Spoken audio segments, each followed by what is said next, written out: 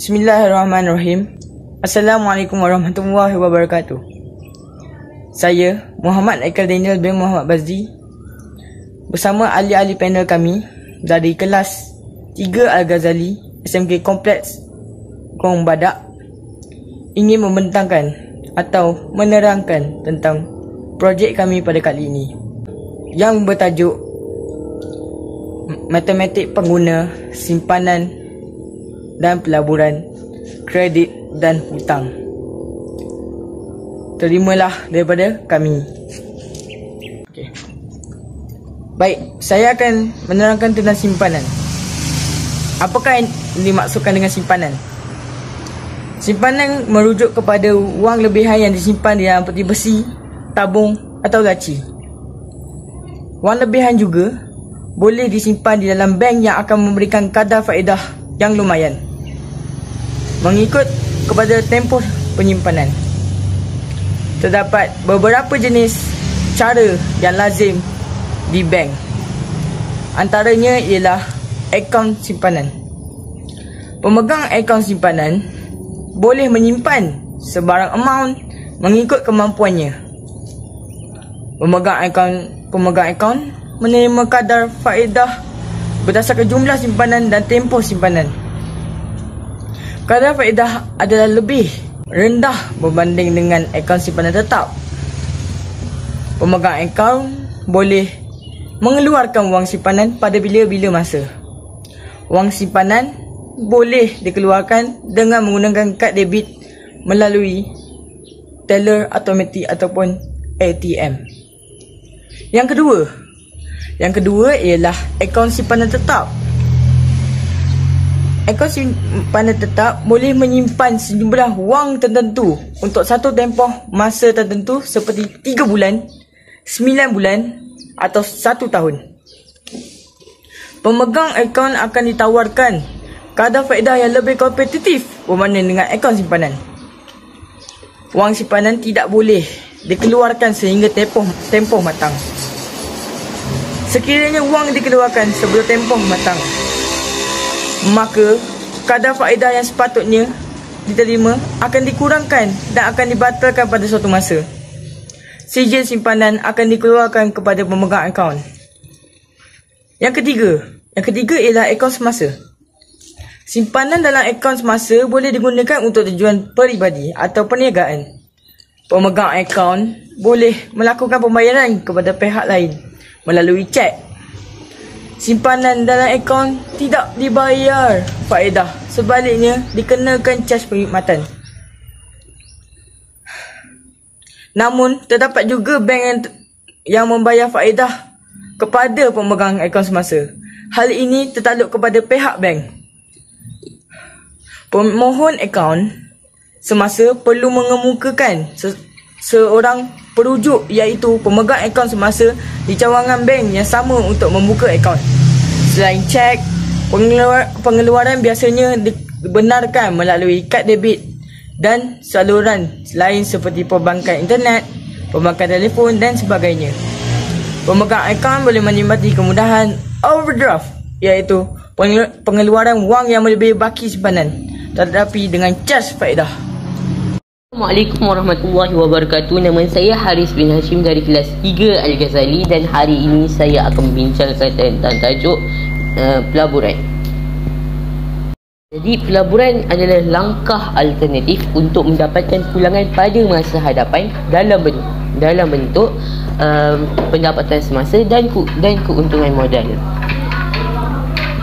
Terdapat beberapa jenis uh, pelaburan ini. Antaranya adalah yang pertama, saham, amanah saham dan juga hartanah. Okey, jadi um, kita akan, kita sekarang akan berbincang tentang saham. Okey, saya akan kasih satu contoh iaitu um, satu syarikat akan menerbitkan saham bagi tujuan mengumpul modal. Individu yang membeli saham daripada sebuah syarikat merupakan pemilik syarikat dengan syarat yang tertentu pemegang saham akan menerima pulangan dalam ben, dalam bentuk dividen dan keuntungan modal berdasarkan okey saham yang mempunyai rekod pencapaian yang tertinggi perniagaan yang tertinggi ialah saham mewah. Ini dikenali sebagai saham mewah ataupun saham blue chip. Okey. Antara syarikat-syarikat yang mempunyai saham mewah antaranya adalah Maybank, TNB dan juga Petronas. Okey, sekarang kita beralih pula kepada amanah saham. Jadi amanah saham ini dikendalikan oleh uh, oleh syarikat unit amanah yang diuruskan oleh pengurus profesional yang bertauliah dalam bina pelaburan. Mereka yang tidak mempunyai pengetahuan tentang pembelian saham boleh mendapatkan bantuan daripada syarikat unit amanah yang untuk menguruskan duit untuk menguruskan wang mereka syarikat unit amanah juga mengumpulkan wang daripada para pelabur dan wang itu dilaburkan dalam pelbagai syarikat yang berpotensi dengan tujuan memberikan pulangan yang menguntungkan para pelabur. Okay, sekarang kita akan beralih kepada yang ketiga iaitu hartanah. Hartanah bermaksud pelaburan atas aset tidak alih seperti rumah, kediaman, kedai, um, tanah dan sebagainya. Merupakan pelaburan dalam hartanah pelabur perlu mengambil kira pelbagai aspek sebelum melabur. Antara faktor-faktor yang akan dipertimbangkan dalam pelaburan hartanah adalah seperti keadaan ekonomi, ke keupayaan menjana pendapatan iaitu sewa, lokasi serta prospek hartanah pada masa akan datang individu yang yang melabur dalam hartanah akan menerima pulangan pelaburan dalam bentuk sewa dan keuntungan modal. Baik, sekarang saya akan menerangkan tentang faedah simpanan. Faedah simpanan yang merupakan ganjaran yang dibayar oleh institusi kewangan seperti bank kepada penyimpan. Faedah boleh dibahagi kepada dua iaitu faedah mudah dan faedah compound.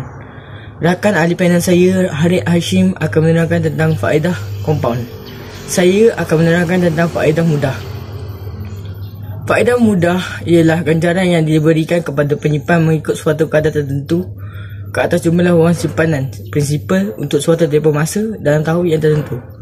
Faedah mudah boleh dihitung dengan menggunakan formula ini. I bersamaan pre-RT.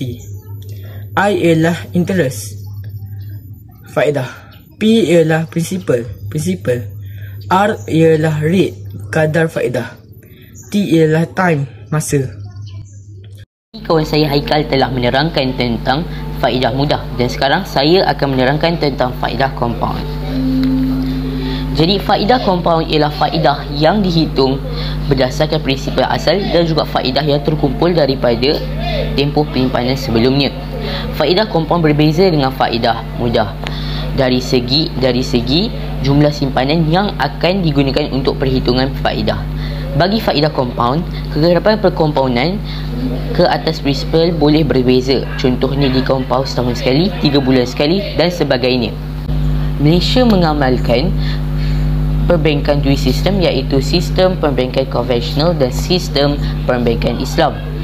Sistem perbankan Islam terdapat empat ciri iaitu berdasarkan hukum Islam iaitu syarak, risiko, diuruskan mengikut perjanjian mengikut prinsip keadilan halal dan perkongsian keuntungan dan tanpa riba tidak menentukan kadar pulangan pada peringkat awal penyimpanan kadar pulangan diketahui semasa tempoh matang itu adalah empat ciri uh, sistem perbankan Islam Nilai pulangan pelaburan merujuk kepada nilai pulangan atas setiap ringgit yang dilaburkan oleh pelabur. Dalam erti kata lain, nilai pulangan pelaburan juga merupakan nisbah keuntungan dan kerugian yang diperolehi daripada suatu pelaburan. Secara umumnya, pelabur lebih gemar menilai pulangan pelaburan dalam bentuk peratus. Nilai pulangan pelaburan akan menggambarkan keuntungan dan atau kerugian yang dicapai oleh seorang pelabur dalam pelaburannya. Sesuatu pelaburan dianggap sebagai menguntungkan pelaburan ataupun dikenali sebagai uh, pelaburan yang bijak Apabila nilai pelaburan semasa dan jumlah pulangan yang diterima adalah melebihi nilai pelaburan asal dan begitu juga ap- apabila jumlah pulangan dan nilai pulangan kurang daripada nilai pelaburan asal maka pelaburan itu tidak menguntungkan. Formula untuk menghitung nilai pulangan pelaburan ialah nilai pulangan pelaburan sama dengan jumlah pulangan per nilai pula pelaburan awal kali dengan 100%. Selain itu, pelabur juga mempunyai jangkaan kadar pulangan daripada sesuatu pelaburan yang dilabur.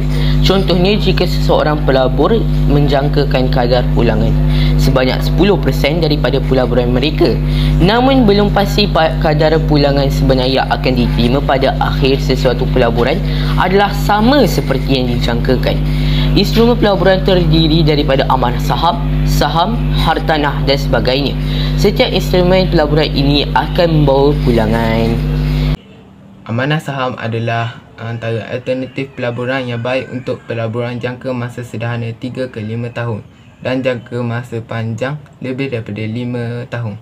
Pelaburan dalam amanah saham adalah berisiko rendah kerana diuruskan oleh pengurus dana profesional yang dikawal oleh setia oleh Suruhanjaya Security dan juga dipantau oleh Bank Negara Malaysia.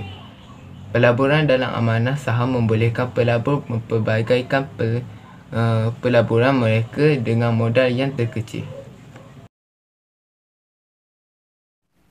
Dividen lazimnya diterima pada akhir tahun kewangan dan dihutang berdasarkan wang yang dilaburkan. Share bonus merupakan share tambahan yang diberi secara percuma pada pemegang saham yang sedia ada. Keuntungan merupakan peningkatan harga saham semasa saham dijual. Pelaburan atas hartanah merupakan salah satu pelaburan yang membawa pulangan dalam bentuk sewa dan keuntungan modal. Apabila suatu hartanah disewakan, pemilik atau pelabur hartanah tersebut akan menerima pulangan dalam bentuk sewa. Jika hartanah tersebut dijual, pemilik atau pelabur akan menerima uh, keuntungan modal dan kerugian modal.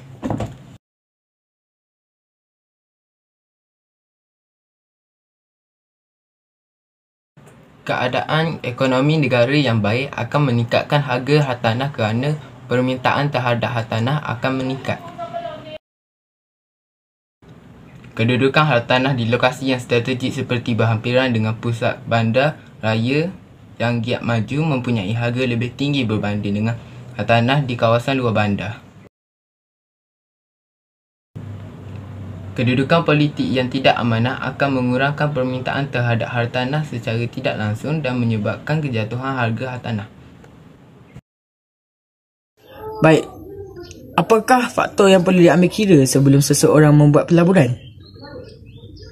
Tiga faktor yang harus diambil kira sebelum seseorang membuat pelaburan iaitu Yang pertama, potensi risiko pelaburan.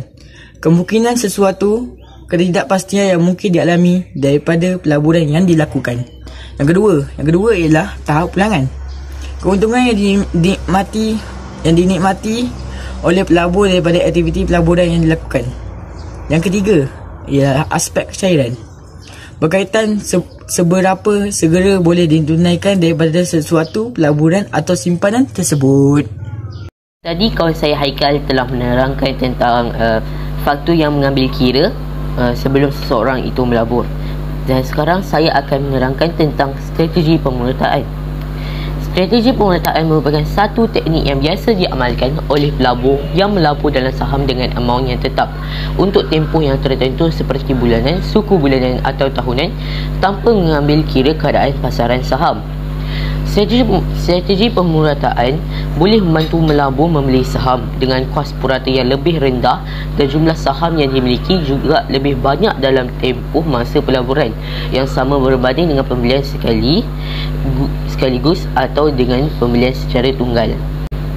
Contohnya puan okay, antara contoh saya akan kasih satu contoh dalam buku teks Contohnya Puan Has, Hasniza mempunyai RM12,000 dan membeli saham sekaligus dari syarikat sempurna dengan harga RM2 seunit saham. Dengan cara ini, Puan Hasniza hanya akan memiliki 6,000 unit saham Maksud 6,000 unit saham kali dengan RM2 bersamaan dengan RM12,000. Namun keadaan akan berbeza jika puas hasilnya membeli saham mengikut strategi pemerataan. Okey, sekarang saya akan berikan satu jadual yang saya akan letak um, di di sebelah ini. Okey. Um, yang menunjukkan Jadual di bawah menunjukkan carta pelaburan Puan Hasina dalam tempoh satu tahun mengikut strategi pemurataan iaitu pembelian saham mengikut setiap bulan.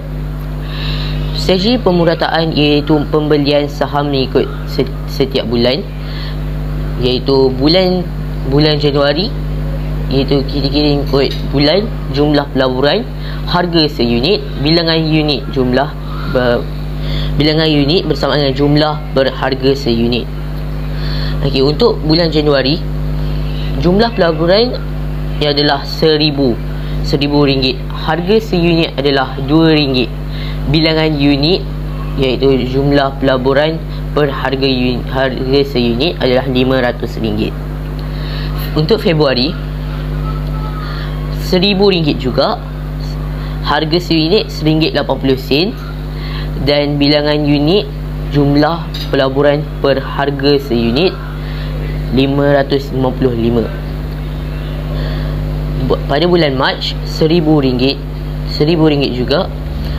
Harga seunit RM1.80 dan bilangan unit jumlah jumlah pelaburan dan per harga seunit adalah 555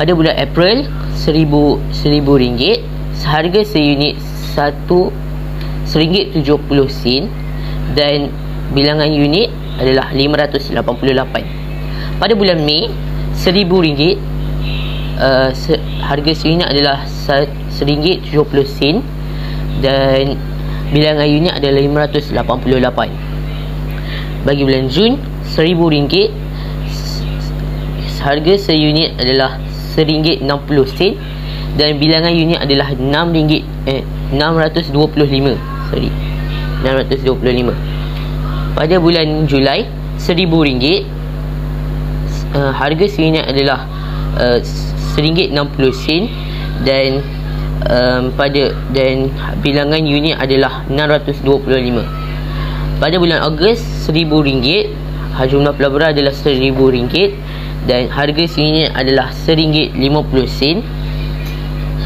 uh, dan uh, bilangan unit adalah 666 pada bulan September RM1000 juga. Uh, harga seunit adalah harga seunit adalah RM1.60 dan bilangan unit adalah 625 bagi bulan Oktober iaitu uh, bilang jumlah pelaburan adalah RM1000 harga seunit adalah RM2.20 dan bilangan unit adalah uh, 454 bagi bulan November RM1000 juga harga seunit adalah RM2 RM2.30 bilangan unit adalah 434 bagi bulan Disember jumlah pelaburan adalah RM1000 juga. Harga seunit adalah RM1.90 dan bilangan unit adalah 526 jadi keseluruhan untuk jumlah pelaburan adalah RM12,000 manakala harga si, keseluruh, keseluruhan harga sini uh, ya adalah RM1.78 iaitu kos purata seunit share. Dan bilangan unit adalah 6741 iaitu bilangan unit yang dimiliki dengan strategi pemerataan seperti di atas Puan Hasniza memperoleh memperoleh 6741 unit dengan menggunakan RM12,000. Strategi pemerataan dia uh, ini adalah ini adalah contoh um, kos purat ini adalah contoh pengiraan bagi strategi pemerataan iaitu kos purata sama dengan dengan sama dengan jumlah pelaburan per jumlah pelaburan per bilangan unit saham yang dimiliki kos purata seunit saham uh, sama dengan RM12,000 per 6,741 sama dengan RM RM1 RM1.78 sen Jadi, sekarang kita beralih kepada kelebihan strategi pemerintah bagi pelabur. Okey, kita dapat tiga uh, kelebihan iaitu yang pertama adalah membantu mengambil kesempatan daripada perubahan harga seunit. Okey. Okey, antara lepas tu tidak dipengaruhi oleh emosi dan mengurangkan risiko kerugian. Bagaimanakah anda menyelesaikan masalah berkaitan simpanan dan pelaburan? Saya contohnya ialah Encik Zaidi, Encik Leong dan Encik Navin telah bersara dan masing-masing menerima wang persaraan daripada syarikatnya sebanyak RM400,000. Mereka bertiga melakukan pelaburan menggunakan pelabur, cara pelaburan yang berbeza. Siapakah pelabur yang bijak? Encik Zaidi. Encik Zaidi membeli sebuah pasal buriko sederhana di kerajaan yang bernilai RM150,000 dan menerima sewa sebanyak RM800 sebulan. Wang selebihnya disimpan dalam simpanan tetap dengan kadar faedah 4% tahun. Penyelesaiannya ialah Encik Zaidi. Tahap risiko tahap, uh, tahap risiko bagi hartanah Pansepuri dan simpanan tetap adalah rendah. Pulangan atas pelaburan. Menerima pulangan atas pelaburan dalam bentuk sewa dan faedah.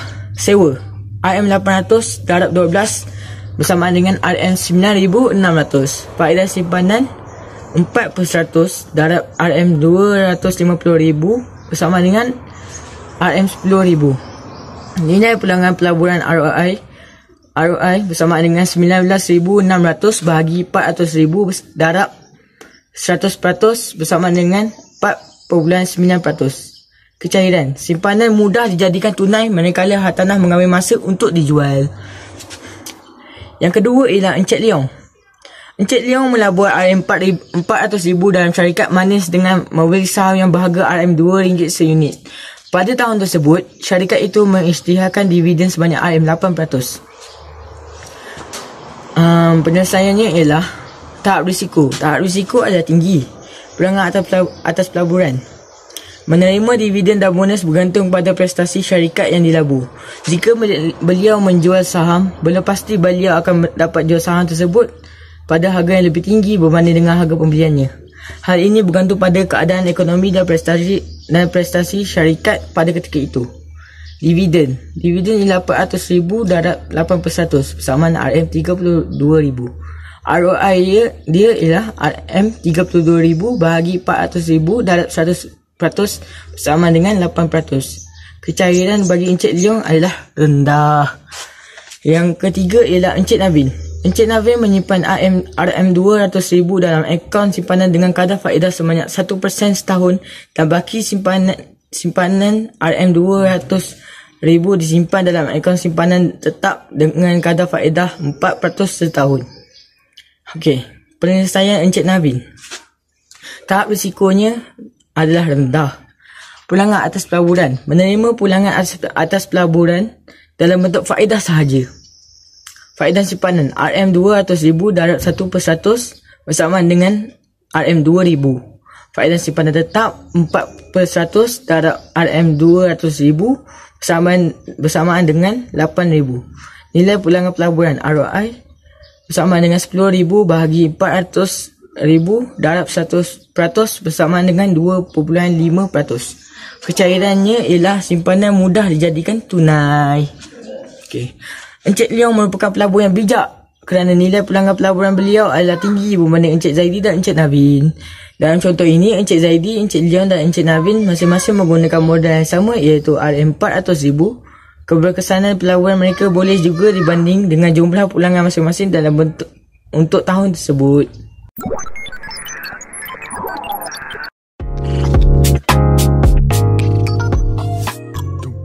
Assalamualaikum warahmatullahi wabarakatuh. Nama saya Wan Ahmad Isi Isyad bin Muhammad Muazzir saya ingin menerangkan tentang pengurusan kredit. Apa yang anda faham tentang kredit dan hutang? Kredit bermaksud satu perjanjian kontrak antara pembekal, contohnya bank atau institusi kewangan dengan pengguna yang mana pengguna boleh meminjam wang daripada pembekal untuk sesuatu kegunaan atau pembelian dan bersetuju membayar balik dalam suatu tempoh. Secara ringkasnya, kredit ialah satu kemudahan penangguhan bayaran yang diberikan oleh pembekal kepada pengguna. Sebagai contoh, bank menawarkan kemudahan kredit kepada pelanggan dalam bentuk kad kredit. Jika pelanggan pemilik kad kredit menggunakan kad kredit tersebut dalam suatu transaksi urus niaga, maka bank akan membayar dahulu kepada penjual dan pelanggan membayar balik kepada bank dalam suatu tempoh tertentu. Kredit juga boleh bermaksud jumlah wang yang boleh dipinjam. Contohnya, kad kredit jika had-had ialah RM10,000, maka pemilik kad tersebut mempunyai kemampuan untuk membeli barang atau membuat transaksi sehingga RM10,000 dengan kad tersebut. Apa yang anda faham tentang kelebihan dan kekurangan kad kredit? pengguna kad kredit semakin lazim pada masa sekarang.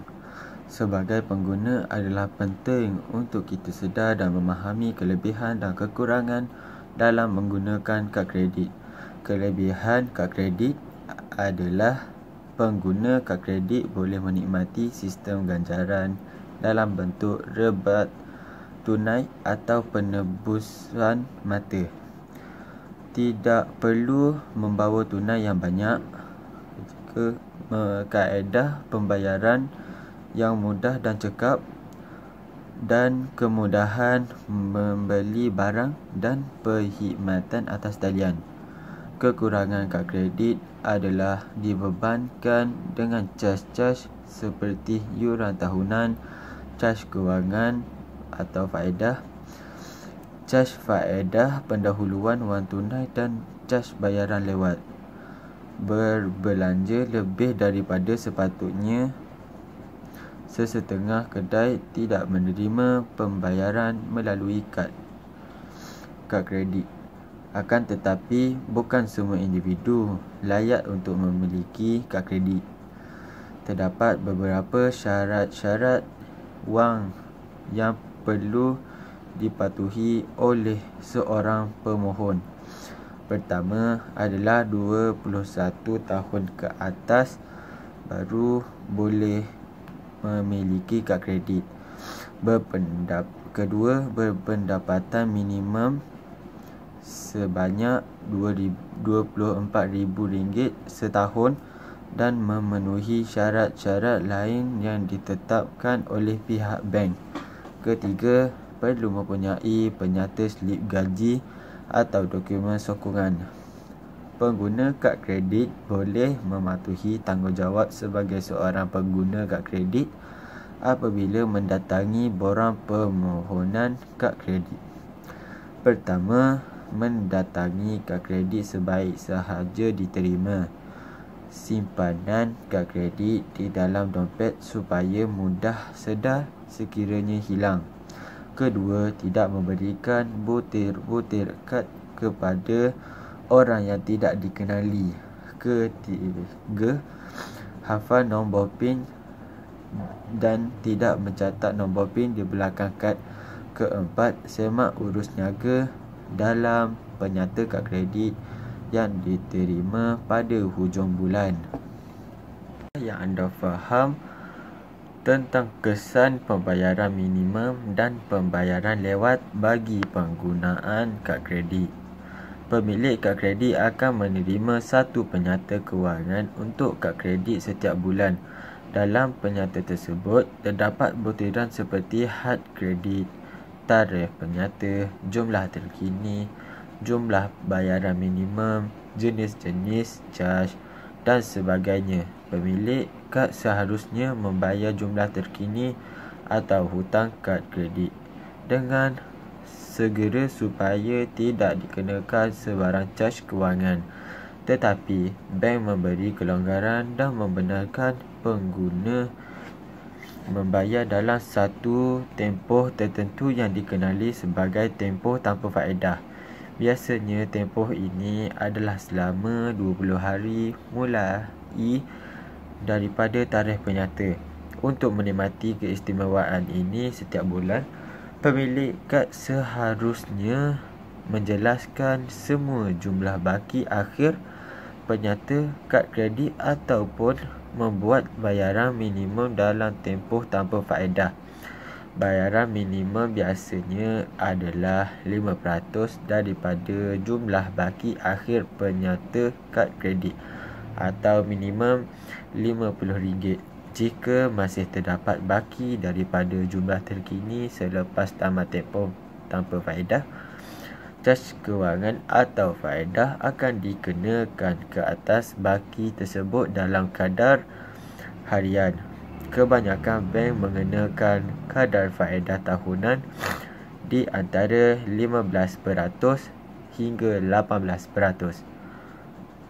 Tambahan itu, jika tiada sebarang bayaran dibuat dalam tempoh tanpa faedah, maka caj bayaran lewat minimum RM10 atau 1% daripada jumlah baki belum jelas pada tarikh penyata bulan seterusnya akan dikenakan.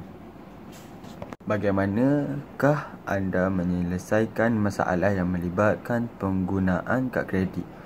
Kita sebagai pengguna kad kredit harus sedar tentang kelebihan dan kekurangan kad kredit kita seharusnya mengambil kira beberapa faktor sebelum menggunakan kad kredit seperti baki had limit yang sedia ada, aliran tunai semasa dan sebagainya.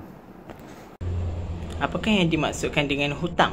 Hutang biasanya membawa maksud satu amount yang dipinjam tetapi belum dilunaskan. Jika satu urus niaga dibuat dengan menggunakan kad kredit, maka kredit di dalam kad itu akan bertukar menjadi hutang.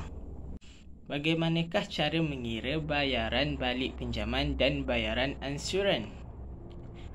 Setiap pinjaman akan dikenakan faedah ke atas pinjaman dari tarikh pinjaman itu dilakukan terdapat dua jenis kaedah pengiraan faedah pinjaman iaitu faedah kadar sama rata dan faedah atas baki.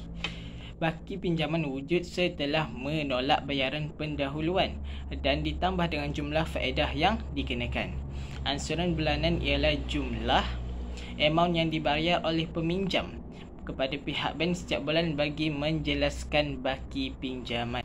Faedah sama rata. Dalam kaedah faedah sama rata, kadar faedah akan dikira pada jumlah pinjaman asal sepanjang tempoh pinjaman. Jadi, jumlah yang dikenakan setiap bulan adalah tetap.